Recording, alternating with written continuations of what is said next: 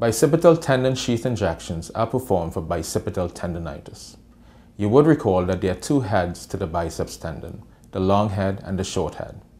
Bicipital tendonitis, also known as biceps tendonitis, occurs with inflammation of the tenosynovial sheath around the long head of the biceps tendon.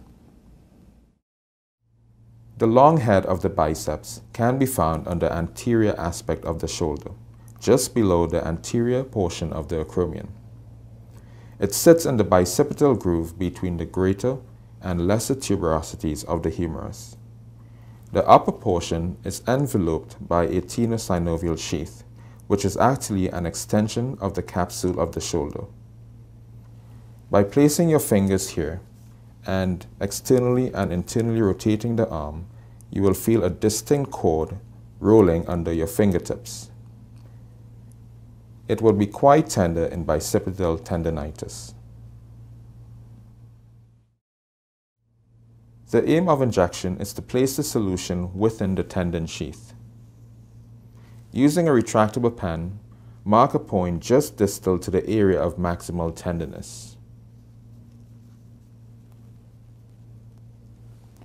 These injections should always be done using sterile technique.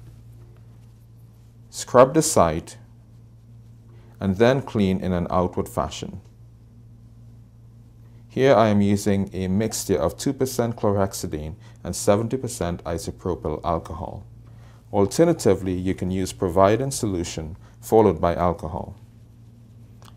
Local anesthetic can be applied to the skin and subcutaneous tissue down to the tendon using a 25 gauge needle, but this may be bypassed as infiltration of the anesthetic would be just as painful and would mean two needle sticks for the patient.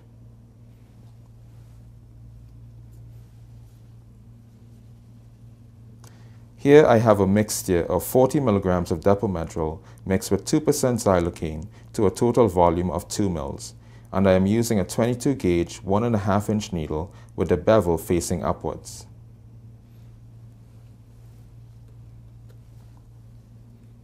Advance the needle through your mark at about 30 to 45 degrees to a depth of about 3 to 4 centimeters.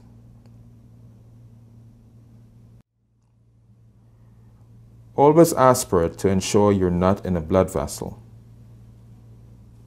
Then inject the solution. This should go in freely.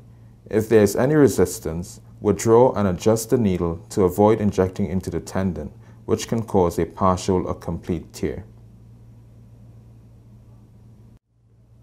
Finish off by drying the site and applying a bandage.